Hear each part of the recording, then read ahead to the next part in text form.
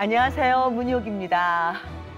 위대한 유산은 주님께서 주신 믿음의 유산을 기억하면서 다음 세대를 세우는 CTS 유산 기부에 대해 소개하고 있는데요. 오늘도 은혜를 나눠주실 분들을 소개해드리겠습니다. 한국교회의 큰 어른이시고 연동교회 원로 목사이시자 위대한 유산에서는 국민 목사이신 이성희 목사님 나와주셨습니다. 안녕하세요. 예, 안녕하세요. 반갑습니다. 예, 위대한 유산이 우리 많은 시청자들에게 사랑을 받고 또 하나님께 영광이 되는 귀한 프로그램 되기 위해서 노력하고 있는 이성희 목사입니다. 반갑습니다. 네, 반갑습니다. 드라마에서는 국민 며느리, 우리 위대한 유산에서는 국민 집사, 탤런트 이시은 집사님 나오셨습니다. 네, 안녕하세요. 잘 이시은입니다. 네. 아, 요즘 날씨가 너무너무 아름답더라고요. 네. 이런 아름다운 날씨를 볼 때마다 하나님이 우리를 얼마나 사랑하시는지 참 느끼는 것 같아요. 네. 네, 오늘 하나님의 사랑을 전하는 방송하겠습니다. 네, 고맙습니다. 자, 오늘은요. 위대한 유산에서 세무 전문가를 모셨습니다. 자, 서울시립대학교 세무학과 박훈 교수님이십니다. 지난번에 기부통계 특집편에서 맹활약을 해주셨는데요. 그래서 오늘은 특별히 세무 전문가를 모셨습니다. 교수님 안녕하셨어요? 네, 안녕하세요. 네. 지난번에는 아주 푸른 색깔 예쁜 넥타이를 매셨는데 오늘도 아주 강렬한 넥타이를 매셨습니다. 네, 집에서 코디를 해줬습니다. 멋지십니다. 지난번 뭐 그 방송 관련해서 시청자들 반응 모르겠는데요. 아마 집에서는 반응이 뜨거웠습니다. 그래서 오늘 또 부담이 되는 자리긴 한데요. 네. 어, 세금이 어려운 만큼 최대한 쉽게 설명하려고 노력해 보겠습니다. 네, 네. 오늘도 잘 부탁드리겠습니다, 교수님. 자, 3월이 되면요. 3.1절을 대표로 해서 독립이라는 키워드가 떠오릅니다. 그래서 저희가 지난 시간에 독립운동가이자 최초의 여성 국회의원이셨던 김마리아 열사님의 위대한 유산을 소개해 드렸었습니다. 오늘도 그 뒤를 이어서 일제 강점기 시대에 신앙의 유산을 남기신 분을 만나볼 텐데요. 어떤 분일지 목사님께서 소개해 주시겠습니다. 예, 지난번에 우리가 김마리아 그 열사에 대해서 우리 함께 아, 공부하면서 또 우리 그분의 위대한 유산을 생각해 보았습니다. 네. 우리 김마리아 그 열사님은 여성으로서 참 위대한 일들을 많이 하셨고 특별히 우리 독립운동의 기초가 되는 그 이팔선은 우리 일본에서부터 어, 한국에 가지고 와서 아, 참으로 많은 고생 가운데서 3.1 운동에 불을 지폈는데 예, 오늘 저희가 함께 또 묵상하면서 또 위대한 유산을 생각해 보실 분은 여러분들이 잘 아시는 그 주기철 목사님이십니다. 네, 네. 우리 주기철 목사님은 한국의 뭐 대표적인 순교자라고 말하기까지는 뭐 하지만은 많은 순교자가 있지만은 어, 가장 우리들에게 잘 알려진 어, 순교자가 어, 주기철 목사님이 아닌가 하는 생각이 들어요.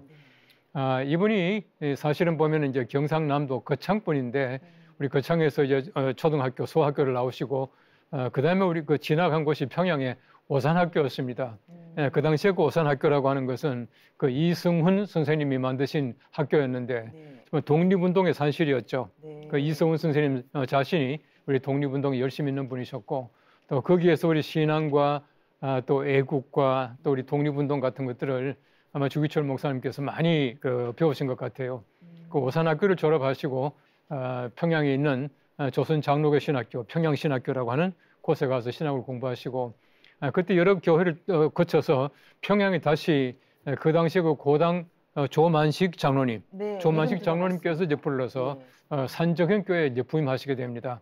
아, 잘 아시겠지만은 고당 조만식 장로님도 어, 굉장히 그 열렬한 그 독립운동가였기 때문에 네. 그 이승훈 선생님이나 또 우리 조만식 장로님 같은 분들로부터 굉장히 그 중요한 어, 그런 어떤 독립운동과 또 애국에 대한 것을 많이 그 배우신 것 같아요. 네. 그래서 그 산정현 교회에서 1938년도에 한상동 목사님이라는 분과 이 주기철 목사님 두 분이 가장 그 강하게 그 신사 참배를 반대했었어요. 아, 예. 이제 반대하시다가 그 여러 번 검거되시고 투옥되시고 또 이제 또 이제 추, 풀어주죠. 그 추록하시고 다시금 또 어, 투옥되시고 하는 반복하시다가 어, 결국은 1944년도에 어, 48세로 이제 세상을 떠나시게 됩니다. 네. 떠나시게 되는데 순교하시게 되는데 우리 그 자세한 사항은 뒤에 나오겠고 그 고문 과정에서 엄청난 어려움을 당했고 음. 어, 또 사실은 우리 그 주기철 목사님의 사모님 훌륭하신 분이셨어요. 아, 이제 그 예. 얘기도 우리 뒤에 다시 또 나오겠습니다만은 그런 여러 가지 많은 것을 통해서 어, 정말 그 위대한 순교자로 남게 된 주기철 목사님 오늘 저희가 함께 그분의 위대한 유산을 함께 저희가 공부하면서 우리 마음 속에 에, 주기철 목사님과 위대한 유산을 생각해 보겠습니다. 네. 주기철 목사님은 보통 우리가 성함을 많이 들어보셔서 많이들 아실 것 같습니다. 일본의 신사 참배는 그 일본의 식민주의를 인정하는 거잖아요. 다른 신을 섬기는 종교 행위잖아요. 어, 그 국가를 위해서 공을 세운 전범들이라든가 이런 공로자들을 신사에 모셔놓고 절을 하라고 하는 건데 주기철 목사님은 거기에 끝까지 저항을 해서 순교를 당하셨습니다.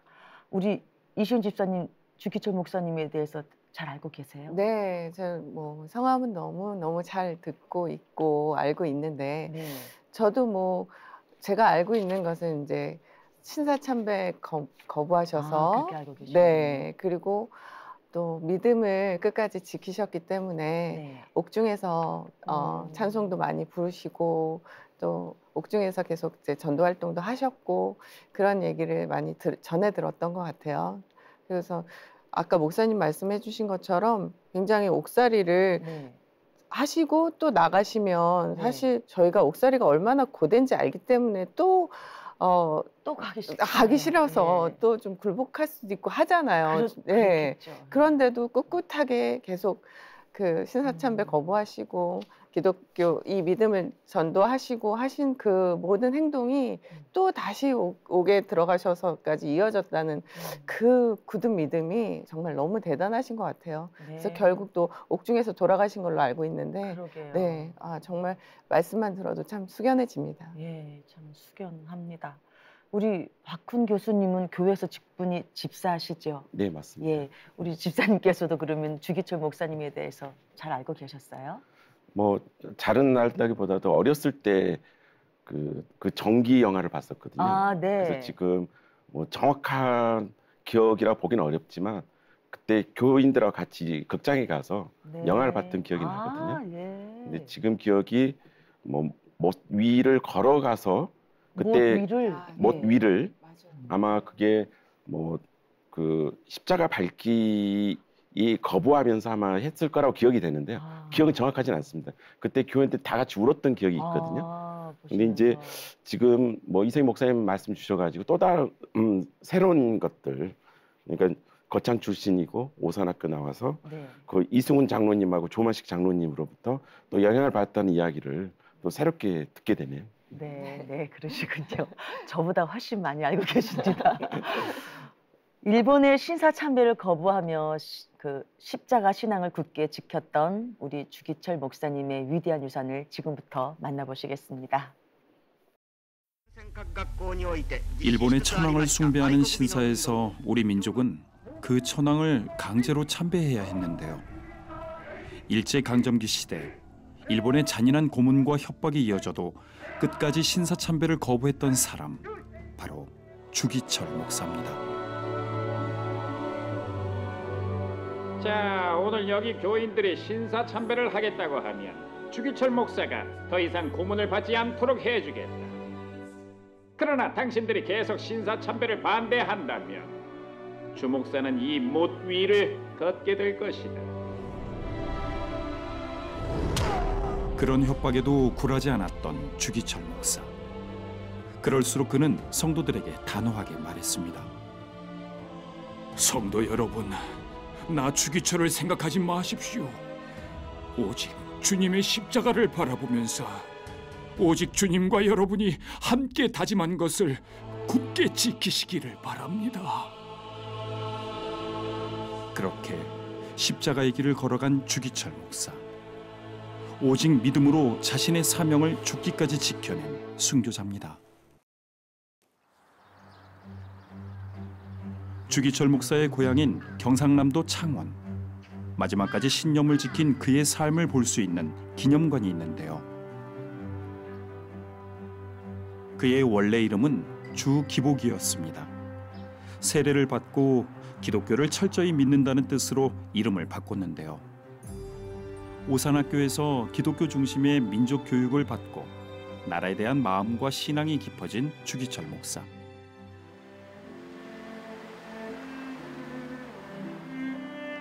그는 목회자로 자신의 인생을 드리기로 결심하고 부산 초량교회를 거쳐 마산 문창교회 담임 목사로 부임했습니다. 주기철 목사의 믿음의 유산을 간직하고 있는 제1 문창교회 역사관. 그가 목회 당시 사용한 물품들과 함께 그가 남긴 정신을 볼 수 있었습니다. 사명을 위해 죽을 각오를 하자는 일사각오. 그가 강조했던 정신입니다. 우리 교회 담임 목사님으로 1935년도 12월 17일부터 19일까지 저 평양신학교 사경에 강사로 초빙되었어요. 그때 설교 제목이 일사가고였습니다. 그래서 주님을 따라 일사가고 남을 위해서 일사가고 그리고 부활의 주님을 믿는 일사가고 근데 그 일사가고는 그때 그 당시에 우리가 암흑기였잖아요. 그래서 어, 신사참배 반대에 대한 구국선언 씁니다. 그렇게 순교를 하겠다 하는 비장한 각오의 일사각오였다고 지금 믿어집니다. 죽음도 불사하겠다는 마음으로 무악산 십자 바위에 올라가 기도했던 주기철 목사. 첫째는 나라를 위해, 둘째는 교회를 위해, 셋째는 가정을 위해 매일 눈물로 기도했습니다. 크게 세 가지로 대별을 하면은 첫째 어, 구국 예범입니다. 그 시대 아무란 시대에 그 애국 애족하고 어, 민족주의적인 생각으로 나라를 구해야 된다는 그 애, 애국 애족은 구국 염원이고 그다음 두 번째는 그 우리 주 목사님 같이 올고전 시장으로서 교육자로서 어, 죽어가는 영혼을 구하는 구령 염원이라고 생각합니다. 그리고 세 번째는 뭐 모든 게 일사과와 같이 또 순교 염원입니다. 이그 시대를 살아가나 지금 시대를 살아나 하나님 말씀이 대로 살아야 된다. 는 그 순교 염원입니다. 그래서 이러한 게 현재 우리가 어, 믿음의 후배들이 봤을 때 우리의 삶이 어떤 방향으로 갈 것인가를 가르쳐주는 좌표라고 저는 생각하고 유대한 유산이 틀림없습니다.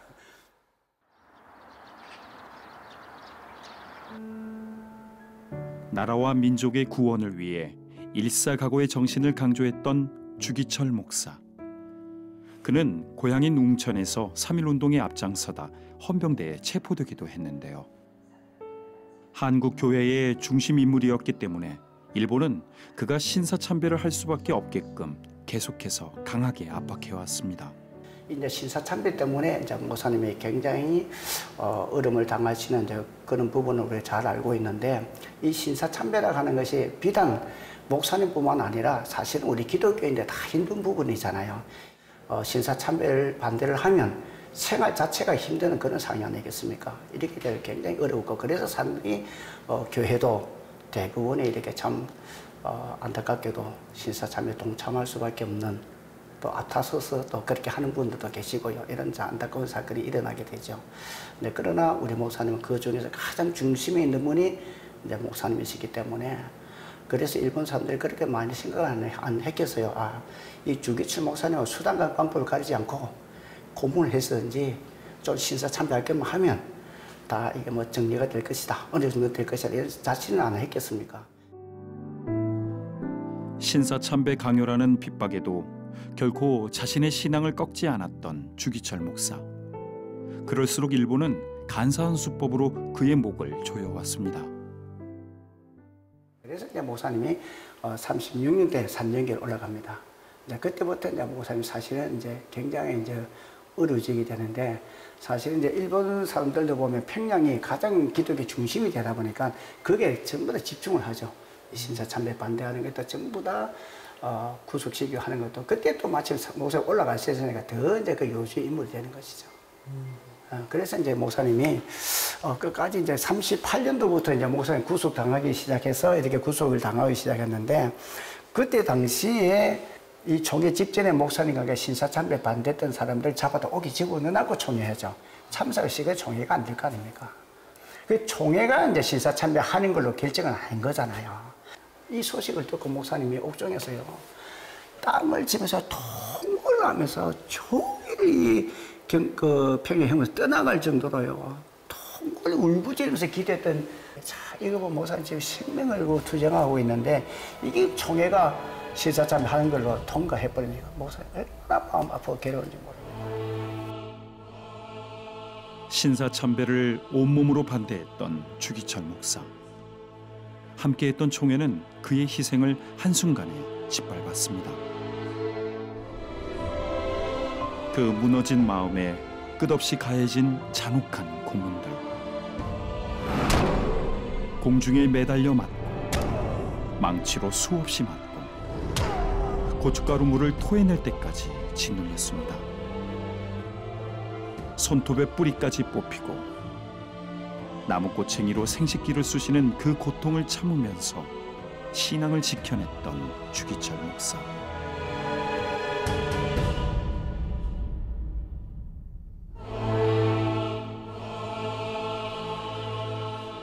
그래서 가족 매니를 시켜줘요. 석방을 시켜줄 테니까 모시고 가라 하면서 그때는 우리가 차도 하나 내줄 테니까 목사님 모시고 가다가 신사가 만들어져 있는 곳 앞에 지나갈 때 차문만 좀 내려가지고 고개만 가고 지나가면 그 길로 목사님 석방을 해서 목사님 목회는 마음대로 하도록 도와주겠다 하는 그런 이거 보면 그런데 이 말을 들었을 때 어머님과 사모님이 이런 자에 거절했다고 합니다. 그래서 일본 사람이 화가 나서 목사님 개인 고문실 앞에 보이는 곳에다 이렇게 가족들을 세워놓고 이 목사님 끌고 나가 거꾸로 매달으면서 몽둥이 치고 인도를 찍고 하니까 어떻게 견디겠어요? 못 견디죠. 그러니까 어머니 기절에 넘어가잖아요. 이게 뭐 이걸 따라갔다 막내 아들 여사한테 얼마나 충격이 되겠어요. 그때부터 만문이 닫히는 시리증이 걸리고 우리 사모님 엎드려서 기도합니다. 하나님 우리 목사의 힘과 용기를 달라면서요. 이거보다 더 심한 고문을 절대 굴복하지 말고 사모님 뭐라 끝까지 순교하게 달라 이렇게 기도했다고 합니다. 이게 이제 일본 사람의 마음을 더 간, 이 마음을 자극하게 만들죠.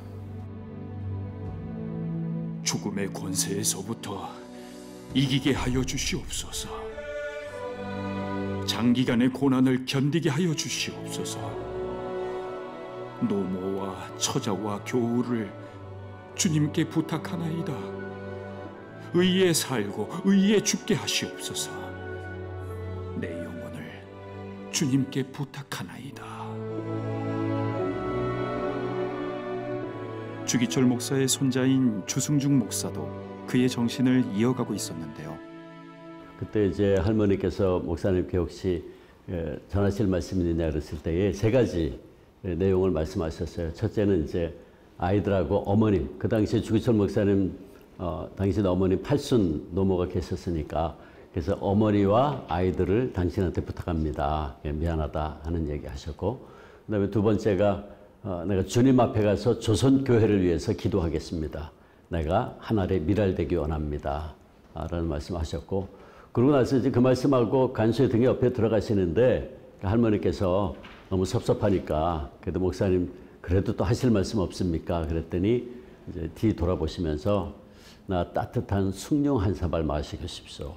그러니까 그 말씀이 어떻게 보면 마지막 말씀이었다라고 할 수 있고 목사님이 그 마지막에 하셨던 말씀이 참 저, 저한테는 역시 뭐 제가 뭐 손자이기도 하지만 그 하나의 미랄이 되고 싶다. 그리고 조선교를 위해서 주님 앞에서 기도하시겠다라고 했던 그 말씀. 그러니까 그 하나의 미랄이 되겠다는 말하자면 썩어져 가는 정신인데 제 스스로도 어 제가 좀 더 그런 어 삶을 살아야 되겠다 늘 마음속에 다짐을 하죠. 그러면 참 좋겠습니다. 그는 감옥에서 모진 고문을 받다가 차가운 바닥에서 하나님의 품으로 갔습니다. 하나님의 뜻을 위하여 나라와 민족의 구원을 위하여 그의 사명을 다하기 위해 죽을 각오로 맞선 주기철 목사. 지금 우리가 예배할 수 있는 것은 이 땅에서 복음을 지켜낸 그의 믿음의 유산이 아닐까요?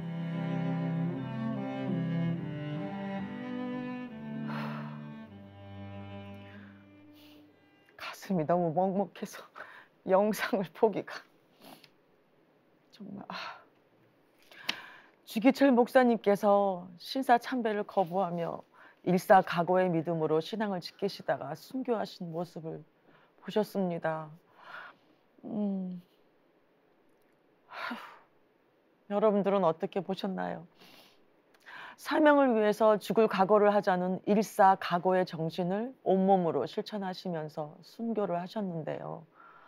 저는 그 당시에 안 태어난 게 얼마나 감사한지 저렇게 고통스럽게 할 것 같으면 빨리 그냥 아, 믿음을 위한 순교가 독립운동 정신과 맞닿아서 건국 공동훈장 독립장을 받으셨다고 합니다. 아, 그런데요, 그 당시에 교단 총회에서는요 신사참배를 찬성하자고도 했다고 합니다. 주기철 목사님께서는 그럼에도 불구하고 끝까지 믿음을 지키셨는데요. 목사님, 저 가슴이 너무 아프네요. 어떻게 저렇게 저렇게 믿음을 지킬 수가 있을까요? 저 고문에도 불구하고. 아, 우리가 순교할 수 있다고 하는 것, 또 그 심한 고통을 견딜 수 있다고 하는 모든 것들 전부 어, 우리 힘으로 하는 것이 아니고 하나님께서 주시는 귀한 능력으로 하시는 것인데 우리 지난번 그 손양훈 목사님 때도 저희가 함께 생각해 보았습니다만은 우리 손 목사님이 순교하기 전에 예, 순교 각오로 삽시다라고 하는 그 설교를 했다고 그랬지 않습니까? 네. 예, 순교라고 하는 것은 어쩌다가 이제 닥치니까 되는 것이 아니고 네. 어, 그전 우리 마음속에 가고 정말 신앙적인 결단이 있어야 가능한 것이고 그래서 순교라고 하는 것은 우리 그리스도인들에게 가장 그 고상하고 또 하나님이 기뻐하시는 어, 참 선물이다 그렇게 말합니다만은 아무나 할 수 있는 것은 아니죠. 어, 참 안타까운 것은 우리가 계속해서 여러 번 등장했습니다만은 1938년도에 네. 예, 조선 예수교 장로회 총회에서 어, 신사 참배를 결의하게 됩니다. 네, 네. 예, 결의하게 되는데 아까도 잠깐 그 영상에 나왔습니다만은 그때 주기철 목사님이나 한상동 목사님이나 그 신사 참배를 아주 극렬하게 반대하던 분들을 전부 감옥에 있는 동안에 그걸 그 총회가 이제 결의를 했습니다. 이제 음. 결의를 할 때에 정말 많은 사람들이 참 가슴 아파하고 땅을 치고 했지만은 어, 총회 앞장서 있던 그 교회 지도자들이 예, 신사 참배를 어, 결의를 했습니다. 이제 네. 결의하고 심지어 신사 참배를 반대하던 주기철 목사님을 그 총회에서는 쉽게 말하면 목사직을 박탈을 했습니다. 아. 신사 참배를 거부한다고 해서 아. 그럴 정도로 그 당시에 에, 참 이게 일제에 의한 그 참 강압적인 그 고통뿐만 아니라 우리 음. 교단을 통해서도 많은 그 고통을 당하셨던 것이 우리 주기철 목사님의 삶이었고 어, 그런 면에서 볼 때에 에, 어떤 면에서 볼 때는 정말 우리 인간의 힘으로 할 수 없는 것을 하나님이 주셨고 또 하나님께서 귀한 그 순교를 통해서 우리들에게 지금도 어, 참 말씀하고 계시고 또 우리가 위대한 유산이라고 하는 걸 통해서 어, 다시 마음속에 떠올리게 된 것을 어, 정말 감사하지만 참 가슴이 먹먹하고 또 하나님 앞에 저 죄스럽고 네. 어, 또 우리 종회가 신사 신사 참배를 결의했다는 것 자체가 정말 굴욕적이고 부끄럽기 짝이 없는 그런 사건이었다고 봅니다. 아유, 그냥 빨리 그냥 총살 당하는 게 더 나을 뻔했어요. 저렇게 고문당한 아우 상상만 해도 저희가 지난 시간에 김마리아 열사님도 그 독립운동 하시다가 감옥에서 고문받은 이야기 전해드렸잖아요.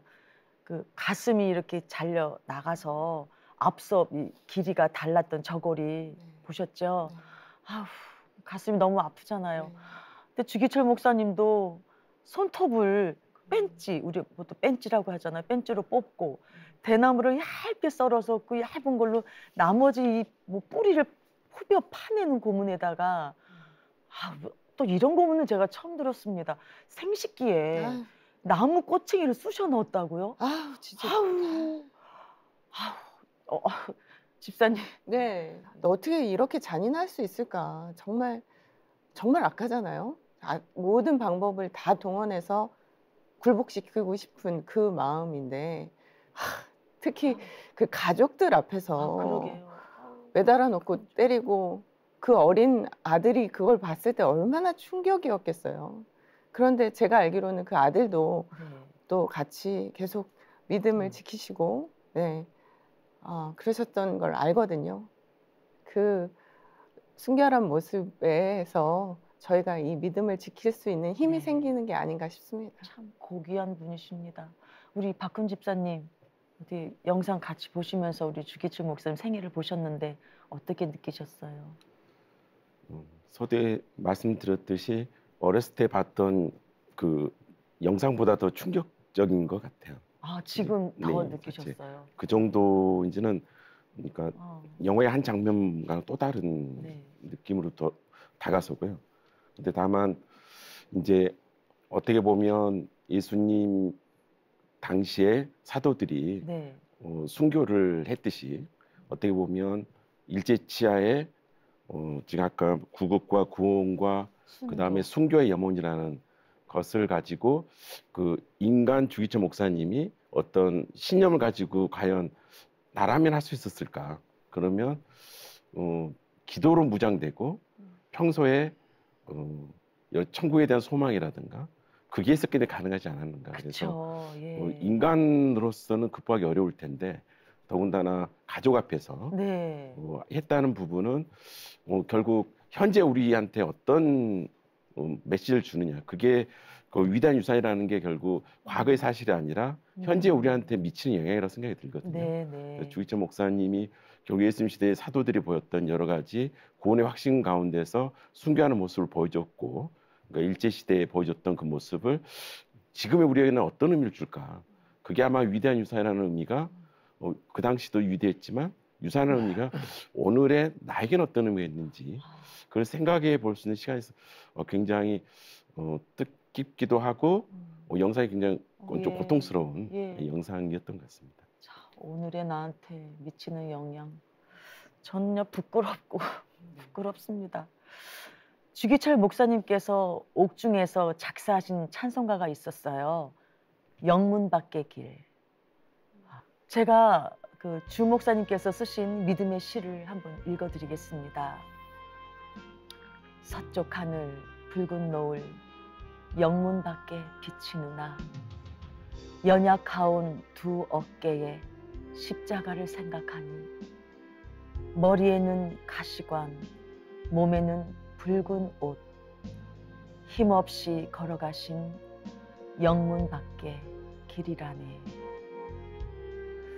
음, 어렸을 때 제가 초등학교 때 이 찬송곡을 무슨 의미인지 모르고 그냥 열심히 불렀던 기억이 납니다. 감옥에서 이 가사를 쓰셨던 주기철 목사님의 모습은 이게 좀 상상이 돼요. 근데 그 믿음의 마음과 깊이는 도저히 상상도 되지 않고 따라갈 수도 없습니다. 저는 일제 강점기를 살았던 우리의 선배님들은 어떻게 이렇게 순수하게 믿음을 지킬 수 있었을까요? 저는 정말 뒤꿈치도 못 따라갈 것 같은데 목사님 어떤 힘에서 저렇게 지키실 수 있었을까요?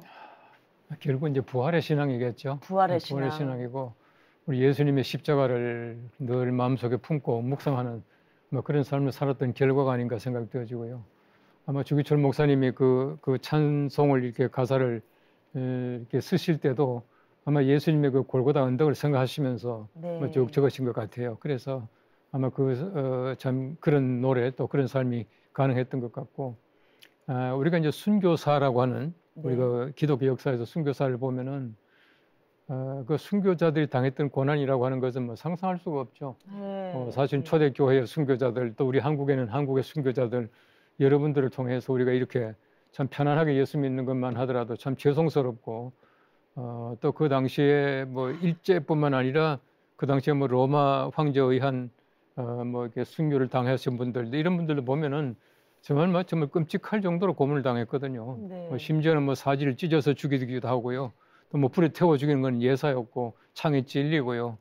또 뭐 거기에다가 뭐 여러 가지 많은 그 고문하는 방법들이 보면은 뭐 아주 비열하고 아, 어 정말 그 보면은 끔찍할 정도로 이제 그런 방법을 통해서 어, 순교를 당했고 우리 예수님의 그 제자들 사도들을 보면은 어 가룟 유다 대신에 예수님의 사도가 되었던 마띠아까지 그 요한 사도 요한을 빼놓고는 전부 순교자예요. 네. 순교자 아주 각양의 순교의 그 모습들을 보면은 정말 마음 아프게 짝이 없죠. 우리 아까 잠깐 나왔습니다만은 주기철 목사님의 사모님 네. 그 오정모 사모님이신데 이분도 마찬가지로 엄청난 어려움을 당했어요. 음. 이 사모님의 어떤 그 신앙이 얼마나 강했는지 주기철 목사님에게 예, 절대 이 살아서 이 붉은 벽돌을 넣지 마십시오. 아, 그 우리가 네. 키, 내가 키우겠습니다. 네, 네. 하면서 목사님이 에, 신앙을 지키고 순교하는 것이 바로 조선 교회를 지키는 것입니다.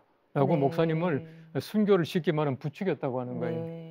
네. 예, 그래서 우리 아이를 데리고 어, 목사님 면회를 왔는데 목사님과 아이가 보는 앞에서 사모님에게 성고문을 냈습니다. 어.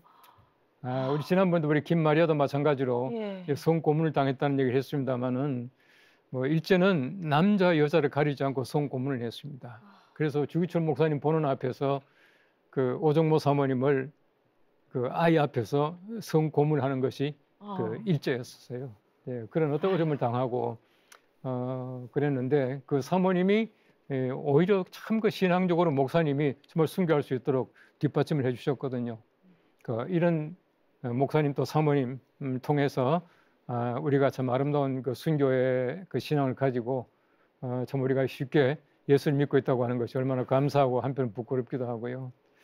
어, 저는 이제 개인적으로 손양호 어, 저 주기철 목사님의 막내 아들 네. 그 주광조 장로님이셨는데 네. 이분이 영락교회 장로님이셨어요. 네. 어, 제가 뭐 가까이 좀 뵙기도 하고 얘기도 많이 듣고 어, 지금 이제 우리 목사님의 손자가 주한 장로교 목사님이잖아요. 주승준 음. 목사님. 통해서 저는 뭐 주기철 목사님의 순교에 대한 얘기를 많이 들었는데 에, 그 주광조 장로님이나 주승준 목사님이 하는 얘기는 제일 고통스러운 게 잠안 재우는 것과 성고문이라고 그렇게 얘기를 하더라고요. 그만큼 이제 힘든 고문을 아. 어, 일제는 이제 그 했던 거예요. 좀 그러니까 참 우리가 어, 참 얼마나 순교라고 하는 것이 고통스럽고 또 힘든 것인가 하는 것을 알 수가 있고 어, 순교는 그냥 되는 것이 아니라 정말 그 부활의 신앙, 굳건한 믿음이 아니면은 할 수 없다라고 하는 것을 어, 다시 한번 느끼게 합니다. 네. 네. 장남도 순교를 하셨다고 들었는데요, 목사님. 예, 예. 음. 어, 장남이 그주 어, 영진 전도사님이신데 이분이 네. 이제 아버지 순교하시고 이제 어머니 세상 떠나시고 근데 참 할머니가 남아 계셨어요. 예. 그러니까 할머니가 이제 어. 아들 또 며느리 다 보내고 또 계셨으니까 얼마나 힘들었겠습니까. 근데 그 할머니를 모시고 어, 계시다가 이 주영진 선교사 어, 전도사님이 예, 목회를 하셨어요. 네. 목회를 하셨는데 그 이분도 저, 저 강하게 신사 참배를 반대할 뿐만 아니라 어, 심지어는 그 당시에 저 공산당들이 내려오면서 어, 교회마다 또 관공서마다 건물마다 아, 이 김일성 스탈린 사진을 거기 아, 걸게 했잖아요. 근데 그걸 아주 강하게 반대를 했었어요.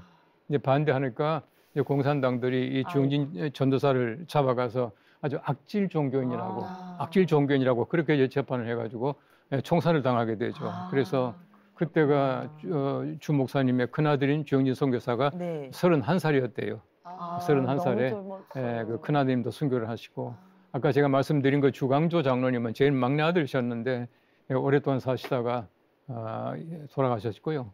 어, 그래서 지금도 이제 그큰 손자인 주승준 목사님이 목회하고 계시고 네. 또 우리 손서 어, 손 손자 사위인 네. 예, 목사님이 또 예, 저하고 이제 신학교를 같이 공부하고 아. 있습니다. 예. 뿌리가 굉장히 역사가 길어요. 어, 예. 주기철 목사님께서 남겨주신 위대한 유산을 소개해드렸습니다. 그냥 말이 아니라 아유, 정말 위대하다는 생각이 정말로 들었습니다. 아, 이제 분위기를 여러분 저희가 바꿔야 됩니다. 위대한 유산에 대해서 궁금증을 풀어드리는 시간을 준비했어요. 자, 위대한 유산 우리 크게 외쳐볼게요. 네네. 위대한 유산 Q&A 우리 박수도 치면서 자, 분위기를 좀 바꿔보겠습니다. 오늘과 다음 시간까지 두 번에 걸쳐서 세무 전문가이신 박훈 교수님을 모시고 세무 특집을 마련을 했습니다. 자, 우선 우리나라 세금이 어떤 것들이 있는지 우리 교수님 좀 말씀해 주세요. 네, 아유, 일단- 판넬 주셨네요. 네, 준비했습니다. 지금 보시면 어, 세금이 몇 개밖에 적혀 있지는 않는데요. 아이고, 네. 정신없네요. 네, 그, 지금 몇 원래는 개라고 하셨는데 몇 네. 개가 아닌데요. 14개, 11개, 총 25개인데요. 어, 어, 정확하게 아시네요. 네, 25개인데 네. 이제 너무 혼란스러울까 봐 지금 세 개만 좀 해놓은 건데요. 아, 네. 예. 아마 유산 기부할 때 소득세, 상속세, 증여세가 주로 문제가 될 겁니다. 네. 근데 지금 이 앞에 보시면 우리가 이제 세무서에서 무슨 고지서 왔다 그러면 네. 국세라 보시면 되고요. 아, 네. 네. 그게 아니라 뭐 서울에 사시는 분들은 서울시라든가 네. 그다음에 우리가 25개 자치구가 있거든요. 네. 그 자치구 뭐 무슨 구 무슨 구에서 오는 거라면 그 지방세라고 볼 수가 아, 있습니다. 이게 세금은 지방세. 25가지 정도가 되고 저희가 제가 이제 실대 세무학과 있는데요. 요거 하나하나 세금 가질 때 4년이 걸리거든요. 그래서 저보고 간단히 설명하라는데 일단 자신이 그렇게는 없어요. 그렇지만 하여튼 소득세, 상속세, 증여세 네. 이세 가지가 이제 유산 기부와 좀 관련이 있다 그렇게 말씀드릴 수 있겠습니다. 그건 저희가 좀 들어봐서 알아요. 아? 소득세, 상속세 중에서는 많이 어, 들어봤어요. 의외네요. 네. 네. 네. 그리고 또 다른 거 준비하신 거 있으세요? 아, 네. 이제 상속세, 증여세, 양도소득세 부분만 좀 자세히 설명해 드릴 텐데요. 네. 제가 학교에서 이 두 개만 한 학기를 가르칩니다. 아이고 네. 예. 네, 한 학기를 가르치는데 아 이게 몇 아, 분 만에? 어쨌든 네. 상속세는 상속에 대해서 매기는 세계나 볼 수가 있고요. 네. 상속이라고 하는 건 누가 돌아가시게 되잖아요. 네. 돌아가시면 그때 남겨진 재산에 대해서 매겨진 세금입니다. 네. 그래서 우리나라의 경우에는 남겨진 재산에 대한 세금을 계산하는데 이게 이제 전 세계적 한 네 개 정도 나라가 이런 방식을 취하고 있고요. 네. 나머지 나라는 이제 실제로 상속 받은 사람 개개인에 계산하는 방식이 또 있습니다. 네. 그렇게 더 깊게 들어 표정이 벌써 어두워지시는데 네, 일단 있어요. 돌아가셨을 때 남겨진 상속 재산에 내는 세금이 상속세다. 네. 이렇게 볼 수는 있고요. 음. 그다음에 증여세는 우리가 생전에 자녀한테 줄 수도 있고 요즘 뭐 특정 기업의 경우에 1억 원을 출산으로 해서 주는 부분을 소득세 낼 거냐 증여세 낼 거냐 문제가 되지 않습니까? 네. 이처럼 대가 없이 주는 경우 예. 이 경우에 증여세가 문제가 됩니다. 아. 이 경우는 받는 사람이 내게 되고요. 아. 이것도 나라마다 좀 다릅니다. 미국은 주는 사람이 내는데요. 네. 우리나라는 받는 사람이 냅니다. 네, 네, 그래서 네. 일단은 증여세는 누군가가 생전에 대가없이 줬다. 라면 증여세가 되는 거고요. 양도소득세는 들어보셨다고 그러니까요. 네. 보통 이제 집 팔면 이제 많이 고민을 하죠. 네. 네, 네. 예, 뭐 느껴지기. 아, 네. 그래서 보통 이제 부동산이나 주식, 우리는 보통 이제 집 팔 때 음. 이때 시세 차익에 대해서 내는 세금이다 네. 생각하시면 될 것 같습니다. 네, 네, 네, 네. 네, 설명을 참 잘해주셨습니다. 자, 이제 이 세 가지 세금에 대해서는 잊어버리지 않을 것 같습니다. 지난번에 교수님께서 함께 해주셨던 기부 통계 특집편에서 사람들이 기부하는 이유 중에 세금 혜택이 분명히 있었습니다. 저는 그때 동정심을 먼저 꼽았는데 세금 혜택이 분명히 있었어요. 자, CTS 유산 기부를 하면 세금 혜택이 어떻게 되는지 많은 분들이 궁금해했던 것 같은데 집사님. 네, 맞습니다. 네, 제가 소개해드렸던 사연 중에서 네. 유산을 상속하면 세금이 엄청나다고 하는데 네. CTS 유산 기부를 하면 어떤지 궁금해하셨습니다. 네. 네, 세금을 아예 안 내도 되는 건지 아니면 어떤 혜택이 있는 건지 많이들 궁금해하셨는데요. 교수님께서 좀 쉽게 설명해 주시면 좋을 것 같아요. 네. 그러니까 이제 그 상속세라고 하는 거는 상속 재산에 대해 매겨진 세금이거든요. 근데 그거를 지금 CTS 유산 기부처럼 어, CTS에게 유산을 한다라고 네. 하면 일단 공익법인 등에게 주어지는 그 상속 재산은 아예 빼버립니다. 상속 재산에서. 오, 네. 그걸 전문용어로 상속 과세가의 불산입이라고 해야 하거든요. 그러니까 상속세가 있고 과세가액, 세금을 네. 매기는 가액이 있는데 네. 불산이라는 그걸 뺀다는 소리거든요. 그러니까 30억을 상속을 받았다라고 네. 하면 거기에 예를 들면 30억을 유산 기부를 시트에서 한다. 네. 그러면 30억에 세율을 10에서 50을 적용하는 게 아니고 네. 30억에 30억 뺀 0에서 시작하는 어, 거거든요. 그래요? 그래서 어, 유산 상속이라고 하는 부분은 아예 상속에서 벗어날 수 있도록 해주는 것이고 음. 그리고 또 돌아가신 분이 어, CTS 유산 기부를 못 할 수도 있잖아요. 네. 갑자기 돌아가실 수도 있고 미리 유언을 안 해놨다면 그, 그 상속인들이 기부를 할 수도 있어요. 네. 그 경우도 그러니까 돌아가신 분이 유산 기부할 뿐만 아니라 상속 받은 받은 사람이? 상속인들이 기부를 하더라도 똑같은 혜택을 줍니다. 어. 그래서 어, 유산을 이걸 내 거를 만들어야 될 생각이 아니라면 네. 어, CTS에 유산 기부를 하게 되면 상속에서 방금 말씀드린 그만큼 부담이 확 줄게 되는 거죠. 아, 네. 어, 할만하네요. 그러네요. 그죠? 음. CTS의 네, 네, 유산기발 상속을 유산기발 할만하네. 세무 전문가이신 우리 박훈 교수님께서요 기본적인 세금 관련 내용을 정리를 좀 해주셨잖아요.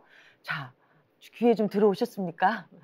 다음 시간에는 조금 더 구체적인 설명을 이제 해주신다고 하는데 아이고 골치가 아픕니다 벌써부터. 그러나 기대를 해주시길 바랍니다.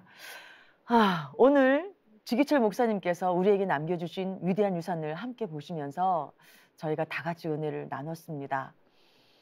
CTS 유산 기부에 대한 그 감동과 또 궁금증이 있으신가요?